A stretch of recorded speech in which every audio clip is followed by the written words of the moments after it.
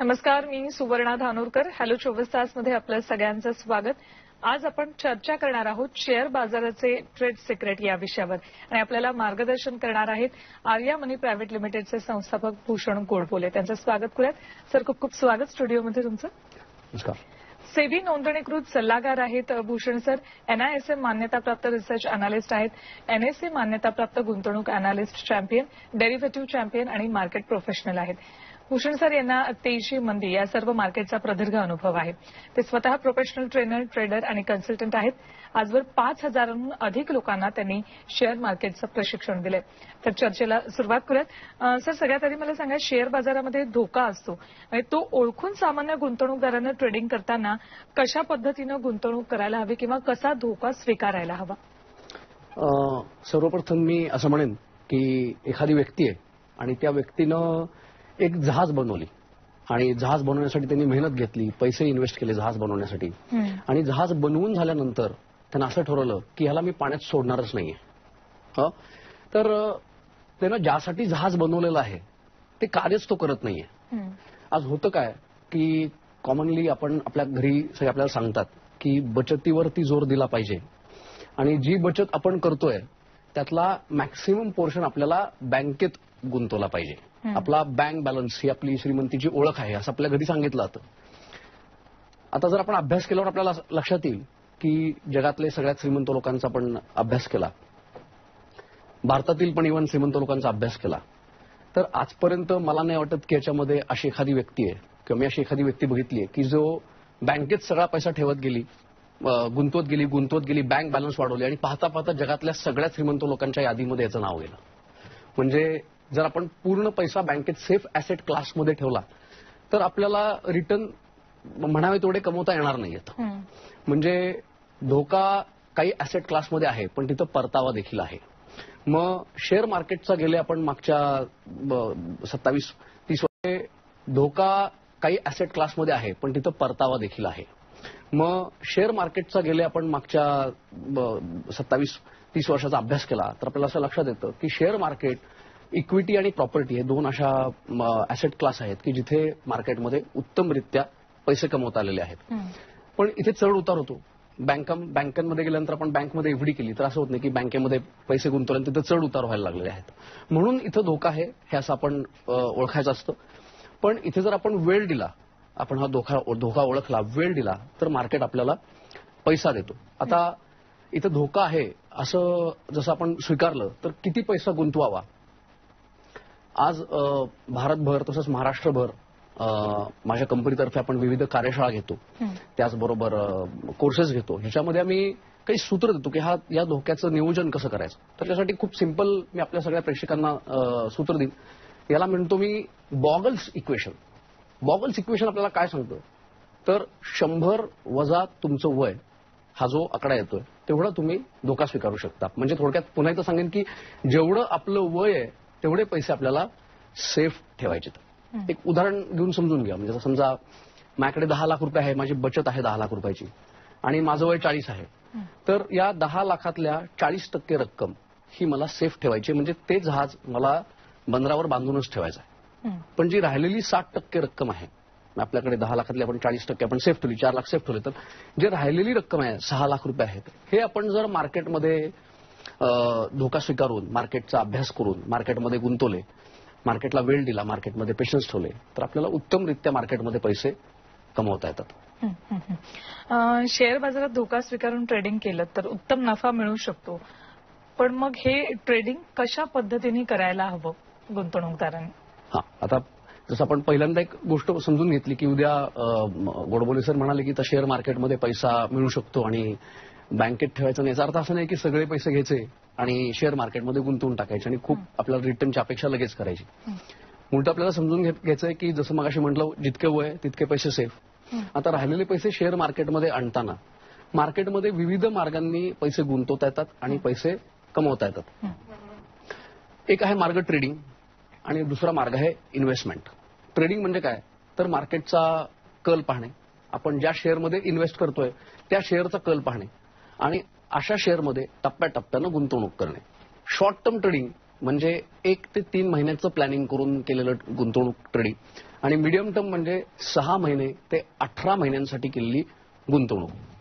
याचबरोबर आपण लॉंग टर्मची गुंतवणूक करून देखील मार्केटमध्ये पैसा कमवू शकतो.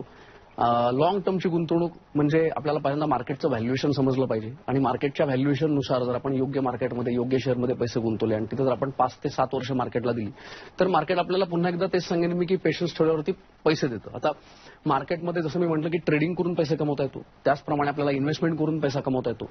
तसंच काही अशा घटना असतात की ज्या घटना आपण अभ्यासल्या आणि तिथं जर आपण धोका स्वीकारला पूर्वनियोजन करून तर आपल्याला उत्तम पै- पैसा कमवता येतो. एकोणनव्वद नव्वद साली एक मनुष्य आपल्या मार्केटमध्ये होता किंवा आहे असं म्हणूया. तर त्या व्यक्तीनं मार्केटमध्ये अशी एक घटना ओळखली की ज्या घट मोठी हालचाल होणार आहे. आणि त्या घटनेला ओळखून त्यानं मार्केटमध्ये दोन कोटी रुपये गुंतवले आणि दोन तासानंतर त्या दोन कोटीचे वीस कोटी रुपये झाले. आता असं ज्या व्यक्तीनं केलं त्या व्यक्तीचं नाव काय आहे तर आपण सगळे त्यांना आज बिग बुल राकेश झुंझुनवाला म्हणून ओळखतो. म्हणजे राकेश झुंझुनवाला ज्या व्यक्तीनं शेअर बाजारात भारतीय शेअर मार्केटमध्ये अफाट संपत्ती कमवली त्यांनी या घटनेचा पुरेपूर फायदा करून घेतला होता. कोणती ती घटना होती? तर ती घटना होती मधु दंडवते सरांनी जे बजेट जाहीर केलं होतं याचा त्यांनी फायदा घेतला होता आणि त्यांना अभ्यासपूर्ण तिथं ट्रेड केला होता. धोक्याचं प्लॅनिंग करून ट्रेड केला होता. त्यांनी ओळखलं होतं की इथे जर मी ट्रेड केला तर पैसे मिळू शकतील. आता अगदी ताजं उदाहरण द्यायचं म्हटलं तर आता सध्या छत्तीसगड मध्य प्रदेश राजस्थान यांच्या निवडणुकांचे निकाल होते. आणि आपण सगळ्यांनी पाहिलं की या निवडणुकांच्या निकालाच्या वेळेला मार्केटमध्ये खूप मोठ्या प्रमाणात हालचाल झाली. तर इथे प्लॅनिंग करून ज्या व्यक्तीनं प्रोफेशनलीरित्या ट्रेड केला त्यांनी उत्तम पैसा कमवला. माझ्या कंपनीमार्फत आपण विविध वृत्तपत्रांमध्ये तसंच युट्यूब चॅनल आर्यमनी हा आमचा युट्यूब चॅनल आहे याच्यामार्फत आम्ही वेळोवेळी कॉमन इन्व्हेस्टरला गाईडलाईन देतो की कशा पद्धतीनं आता कुठं गुंतवणूक केली पाहिजे. तर या वेळेला म्हणजे इलेक्शनच्या आधी आम्ही असं ओळखलं होतं की मार्केटमध्ये कोणत्या पद्धतीचा ट्रेड केला तर पैसे आपण कमवू शकतो. काय आपल्याला युजली घरी सांगितलं तर किंवा आपण शाळेमध्ये शिकतो की आपल्याला रस्ता ओलांडायचा आहे तर आधी इकडे बघा मग तिकडे बघा. आता काही नाही मग रस्ता ओलांडा. शेअर बाजाराचा जर विचार केला तर शेअर मार्केटमध्ये आपण या पद्धतीने विचार करायला गेलो की मी आधी बघणार की घटना काय घडतीये. आणि घटना घडल्यानंतर मग मार्केटमध्ये मी येणार. तर आपण उशिरा मार्केटमध्ये आलेलो आहे असं होऊ शकतं. म्हणजे काय की घटना घडण्याआधी आपल्याला प्लॅनिंग करायचं आहे की आपल्याला कोणत्या दिशेनं ट्रेड करायचं आहे हे कसं करणार तर याच्यासाठी टेक्निकल अनालिसिसचा आपण उपयोग करू शकतो. चार्ट बघू शकतो. चार्टमध्ये आपल्याला कळतं की मागणी किती आहे आणि पुरवठा किती आहे. आणि ह्याच्यानुसार आपल्याला समजतं की आपल्याला कोणत्या दिशेनं ट्रेड करायचं आहे. आता उदाहरणार्थ जगातल्या सगळ्या मार्केटचा आपण विचार केला तर जगातल्या सगळ्या मार्केटमध्ये जेव्हा जेव्हा त्यांच्या इथं इलेक्शनचे रिझल्ट डिक्लेअर होणार होते तेव्हा तेव्हा प्रत्येक वेळा मोठ्या प्रमाणात हालचाल झालेली आहे. म्हणजे प्रोफेशनल ट्रेडिंगसाठी हा एक आपल्याला आपण ओळखायला पाहिजे की एक संधी आहे. हो. तर याही वेळेला जसं आता जे रिझल्ट झाले होते जेव्हा आपण मार्केटमध्ये खूप उलथा बलत बघितली तेव्हा ग्राफ तुम्हाला सांगत होता सोमवारी आम्ही त्या आमच्या चॅनल मार्फत सांगितलं की मार्केटमध्ये आता मंदीचा व्यवहार करून तुम्ही उत्तम पैसा कमवू शकता. म्हणजे मार्केटमध्ये सोमवारी इलेक्शनच्या आदल्या दिवशी मंदी होती. आणि या वेळेला जर आपण मंदीचा व्यवहार केला म्हणजे मार्केटमध्ये आपण असं म्हटलं की मंदी येणार आहे आणि त्यासाठी आपण गुंतवणूक केली. आणि मंदी आली तर तुम्हाला उत्तम पैसा मिळेल. आता इथं परत एक नवीन असा प्रश्न येतो की आपण कायम असं ऐकतो की शेअर मार्केट वधारलं की खूप उत्तम पैसा मिळतो. कसं आहे की शेअर मार्केटमध्ये कायम तेजीतच पैसा आहे असं नाहीये. इथे आपल्याला मंदीत सुद्धा उत्तमरित्या पैसा कमवता येऊ शकतो. दोन हजार आठ ज्याला आपण शेअर मार्केटमधलं एक घातक वर्ष म्हणतो की दोन हजार आठमध्ये शेअर मार्केटमध्ये भारतीय शेअर मार्केटमध्ये साठ टक्के पडझड झाली होती. की ज्या वेळेत म्युच्युअल फंडाच्या इन्व्हेस्टमेंट सुद्धा चाळीस टक्के डाऊन झाल्या होत्या ज्याला आपण मापदंड म्हणू शकतो. या दोन हजार आठ साली जी शेअर मार्केटमध्ये पडझड झाली याचं प्रमुख कारण होतं अमेरिकन शेअर मार्केटमधली मंदी. तरी अमेरिकन शेअर मार्केटमधली मंदी तिथे एक असा व्यक्ती होता की त्यांनी ओळखली आणि त्याला अभ्यासपूर्ण मंदीचा व्यवहार करून तिथे त्यांनी ट्रेड केला. म्हणजे मंदीचा व्यवहार केला दोन हजार आठच्या मार्केटमध्ये त्यानं. आणि त्या व्यवहारामध्ये त्यांनी म्हणजे मार्केटमध्ये मंदी आली त्यांना असा ट्रेड केला की मंदी मंदीची बेट लावली आपण असं म्हणूया. मंदी आली तर खूप पैसे मिळणार नाही आली तर तो जेवढे इन्व्हेस्ट करतो त्याच्या पलीकडे जाणार नाही असा व्यवहार त्यांनी दोन हजार आठमध्ये अमेरिकेच्या मार्केटमध्ये केला आणि त्यांनी त्या व्यवहारामध्ये चार बिलियन डॉलर इतकी रक्कम कमवली. एवढंच नाही तर त्याचं नाव जगातल्या सगळ्यात श्रीमंत लोकांच्या यादीमध्ये जाण्या इतपत तो नफा होता की त्या माणसाचं नाव आहे जॉन पॉल्सन. म्हणजे मंदीमध्ये पैसा आपण काय होतो की पेपरमध्ये बघतो किंवा टीव्हीवरती बघतो आज शेअर मार्केट एवढ्या मोठ्या प्रमाणात कोसळलं आणि त्याच्यामुळे अमुक अमुक गुंतवणूकदारांचं नुकसान. तर असं नाहीये की मार्केटमध्ये तेजी असताना सुद्धा पैसा कमवता येतो मंदी असताना सुद्धा पैसा कमवता येतो पण त्याचा आपल्याला योग्यरित्या अभ्यास पूर्ण तिथं व्यवहार करायचा असतो. तर आता जसं इलेक्शनचे रिझल्ट आता छत्तीसगड मध्य प्रदेश राजस्थानचे झाले तर तेव्हा सोमवारी आलेख असं सूचित करत होता की मार्केटमध्ये मंदीचा कल आहे. तर आपण मंदीचा व्यवहार तिथे करावा. आणि मंगळवारी फायदा होण्याची अपेक्षा आहे. जर अंदाज चुकला तर आपलं किती नुकसान होणार होतं? जितकं आपण गुंतवतोय त्याच्या पलीकडे नुकसान होणार नव्हतं या मंदीच्या व्यवहारामध्ये. ज्याला मी म्हणतो पुट खरेदी करणे. तर या ठिकाणी आम्ही जो सल्ला दिला होता तिथे मी स्वतः प्रोफेशनल ट्रेनर आहे ट्रेडर आहे. मी स्वतः तिथे गुंतवणूक केली होती. काय झालं सोमवारी मार्केट खाली गेलं आणि मंगळवारी जेव्हा निवडणुकांचे निकाल सुरू झाले तेव्हा मार्केट खाली ओपन झालं. आणि मार्केट खाली ओपन झाल्यानंतर हा जो व्यवहार आम्ही केला होता त्या व्यवहारामध्ये साठ टक्के नफा आम्ही त्या ठिकाणी कमवला त्या ट्रेडमध्ये साठ टक्के नफा कमवला. म्हणजे मार्केटमध्ये मंदी आली पण मार्केटमध्ये या मंदीच्या मंदीमध्ये देखील आम्ही पैसा. कमवू शकलो. त्याच्यानंतर मार्केट पुन्हा वर गेलं पण आम्ही मार्केटमध्ये पैसे कमवून बाहेर पडलो होतो. आणि हे दोन हजार नऊ साली सॉरी आता याच वेळा नाही तर दोन हजार नऊ साली सुद्धा आम्ही अशा प्रकारचा ट्रेड केला होता. दोन हजार चौदा मध्ये देखील ट्रेड केला होता अगदी. गुजरात इलेक्शनच्या ट्रेडच्या वेळा देखील हा आम्ही ट्रेड केला होता. तर वेळोवेळी जेव्हा मार्केटमध्ये अशी संधी असती अशा संधीला ओळखून जर आपण मार्केटमध्ये एनकॅश केलं तर मार्केट आपल्याला पैसा देतं. म्हणजे अशा घटना आपल्याला ओळखायला लागतात की ज्यानंतर शेअर मार्केटमध्ये मोठी हालचाल होणार आहे. अशा घटनांना ओळखून आपण मार्केटमध्ये ट्रेड करून पैसे कमवू शकतो. त्याचबरोबर जसं मगाशी मी म्हटलं की मार्केटचं व्हॅल्युएशन म्हणजे आम्ही असं म्हणतो की या शेअर मार्केटमध्ये पैसा कमवायचा असेल तर मार्केटला मार्केटचं ट्रेड सिक्रेट जे आहे ते म्हणजे मार्केटला भारतीय शेअर मार्केटला ब्लड प्रेशर आहे. आणि हे जर ब्लड प्रेशर तुम्ही पहिल्यांदा बघितलं मार्केटमध्ये इन्व्हेस्ट करण्याच्या आधी की काय त्याचं ब्लड प्रेशर चालू आहे. त्यानंतर आपण मार्केटची दिशा बघितली आणि आपल्याला ज्या शेअरमध्ये गुंतवायचे त्याची दिशा बघितली आणि मग मार्केटमध्ये गुंतवणूक केली तर मार्केटमध्ये खूप मोठ्या प्रमाणात पैसा कमवता येतो. या ब्लड प्रेशर विषयी जाणून घ्यायचे पण ब्रेकची वेळ झाली. एक छोटीशी विश्रांती घेते विश्रांतीनंतर ही चर्चा अशीच सुरू राहील.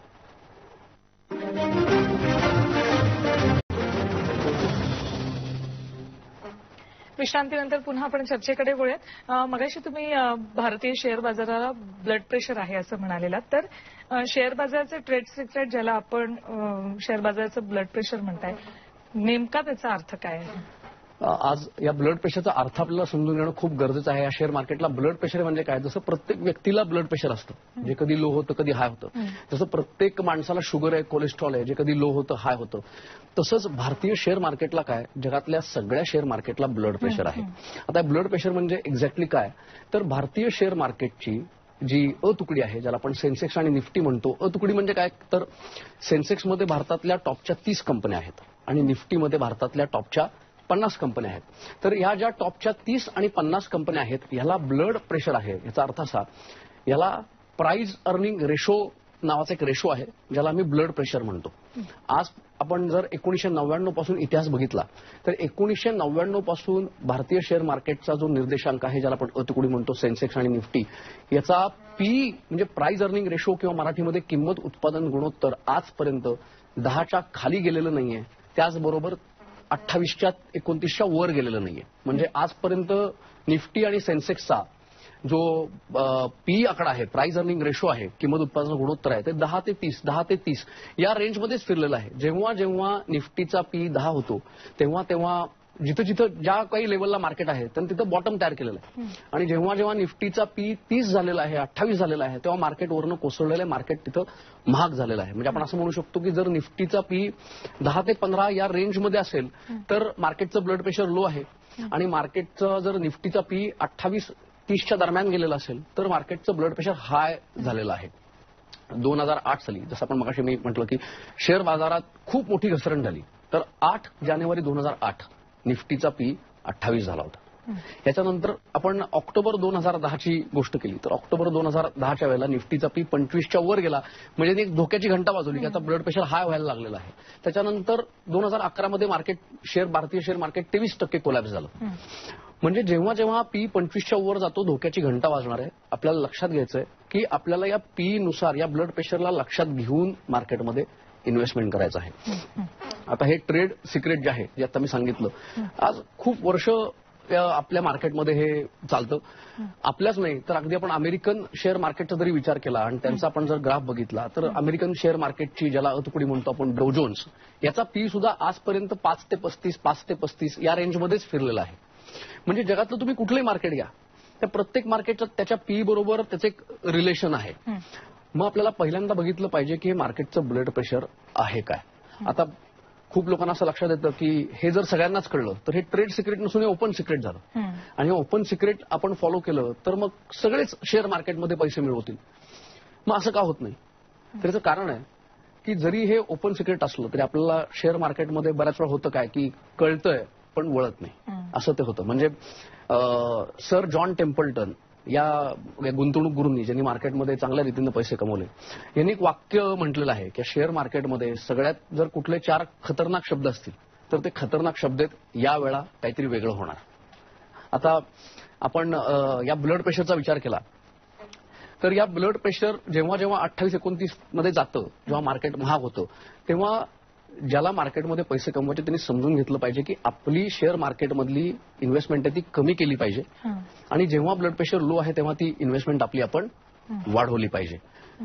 इथे गुंतवणूक करताना आपण ज्या शेअरमध्ये गुंतवणूक करणार आहोत त्याचा जर आपण टेक्निकल ट्रेंड बघितला तर आपण आणखी सक्सेसफुल रित्या या मार्केटमध्ये पैसे कमवू शकतो. नुकत्याच पाच राज्यांमधल्या निवडणुका होऊन गेल्या तर त्यावेळेला शेअर बाजारामध्ये मोठ्या प्रमाणात हालचाल झाली होती. आता दोन हजार एकोणीसमध्ये सुद्धा निवडणुका होत आहेत. तर त्या निकालांचा विचार करता पुढच्या काळामध्ये गुंतवणुकीचं धोरण नेमकं कसं ठेवायला हवं? हा. खूप महत्त्वाचा प्रश्न आहे की आगामी कालावधीमध्ये निवडणुकांनंतर आता जो सहा सात महिन्याचा गॅप मिळतो यात कशा पद्धतीनं ट्रेडिंग केलं पाहिजे तर मगाशी जसं मी सांगितलं की मार्केटमध्ये येताना पहिल्यांदा आपल्याला मार्केटचं ब्लड प्रेशर बघितलं पाहिजे.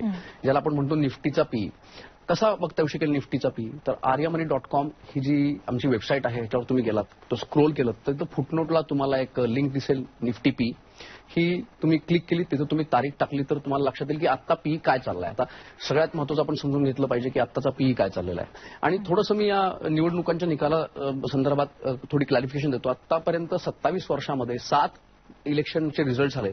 आणि सात मधल्या पाच वेळा असं घडलं की इलेक्शनच्या पूर्वी सहा महिन्यापूर्वी ज्या व्यक्तीनं शेअर मार्केटमध्ये पैसे गुंतवलेले आहेत त्या व्यक्तीला आगामी दोन वर्षामध्ये तेवीस टक्क्याचा वार्षिक परतावा मार्केटमध्ये मिळालेला आहे. एवढा छान परतावा मिळालेला आहे.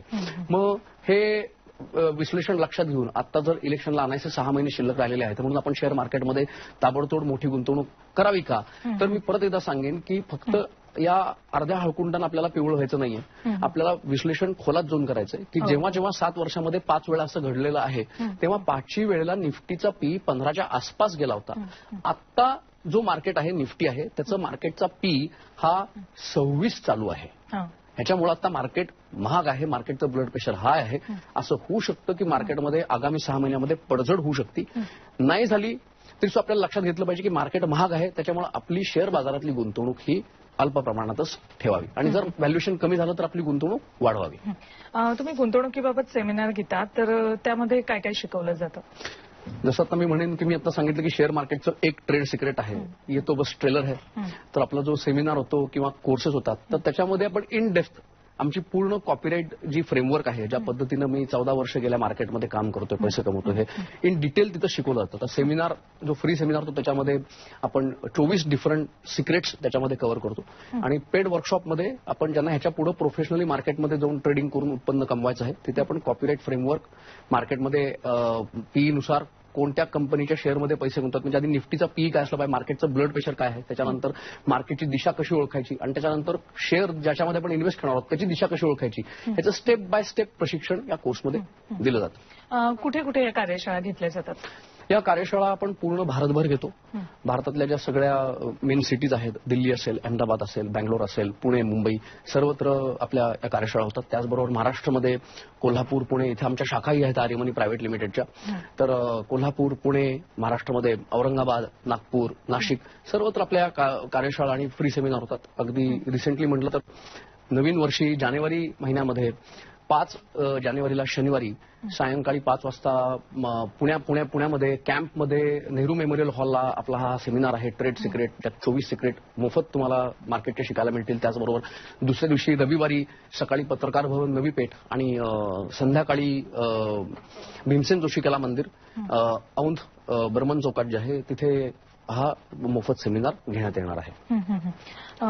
मला एक सांगा या सेमिनारमध्ये कशा प्रकारचे किंवा कुठल्या वयोगटा त्यांचा नेमका काय कसा अनुभव असतो?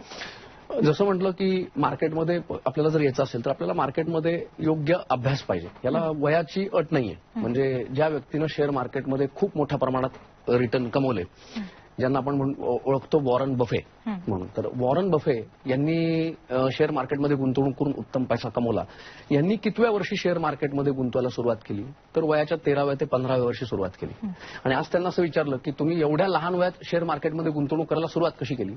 तर ते म्हणतात उशीरच झाला. मला आधी कळायला पाहिजे होतं. त्याच्यामुळे वय असं त्याला मार्केटमध्ये नाहीये. मार्केटमध्ये आपल्याला योग यहाँ पे आपण जेव्हा तुम्ही जेव्हा योग्य म्हणजे तुम्ही मार्केटमध्ये आलात तर मार्केटचं वय काय आपल्याला बघायचं आहे म्हणजे मार्केटचं ब्लड प्रेशर काय आहे? आणि मग आपण मार्केटमध्ये गुंतवणूक करायची.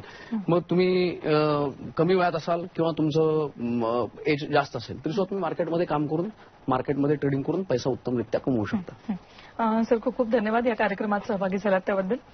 यानंतर हॅलो चोवीस तासमध्ये इथेच थांबतोय. नमस्कार.